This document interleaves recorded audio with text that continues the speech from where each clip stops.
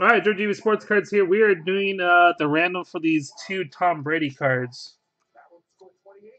Right? Two? I think I put two aside. Yeah, two Tom Brady cards. Team on top will get the Tom Brady's. Good luck, guys. Uh, 12 times. I got this PYT number three.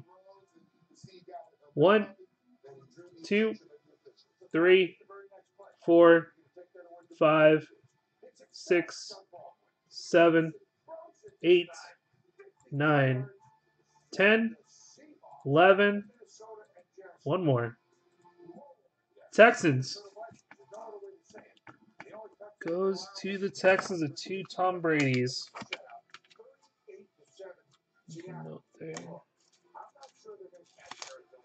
All right, appreciate it, guys.